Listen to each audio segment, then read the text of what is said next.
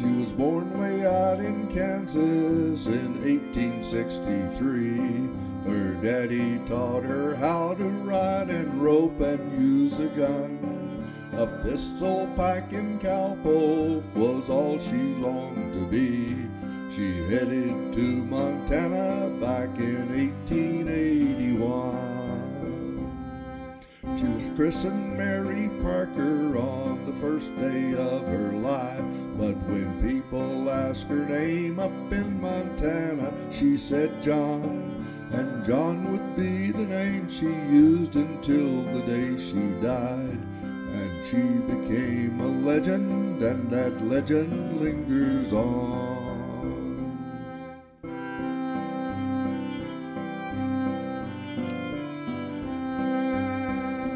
On her right hip she wore big old 44. In her mouth she kept a soggy old cigar.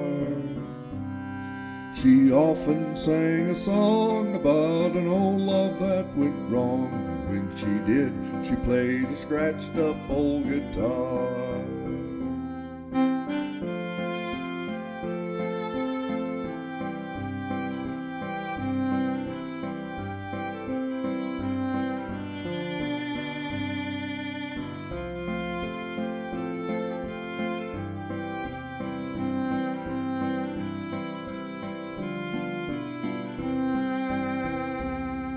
She got a job near Billings and earned a cowboy's pay. She hit the bars and drank and played at poker every night. She was tougher than most any man from then until today.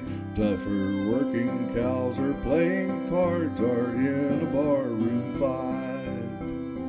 On her right hip she wore a big old 44, and in her mouth she kept a soggy old cigar.